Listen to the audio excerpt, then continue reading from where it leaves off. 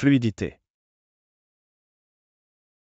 Le terme fluidité désigne la qualité d'être fluide, c'est-à-dire la capacité de se déplacer ou de se couler facilement, sans interruption ni effort. Dans un contexte plus large, il peut également se référer à la capacité de parler, écrire ou penser sans effort ni hésitation.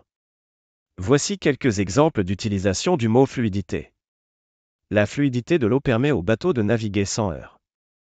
Lorsqu'on écrit un texte, il est important de travailler sur la fluidité de sa structure et de ses idées pour faciliter la lecture. Les personnes qui parlent plusieurs langues ont souvent une plus grande fluidité dans leur discours.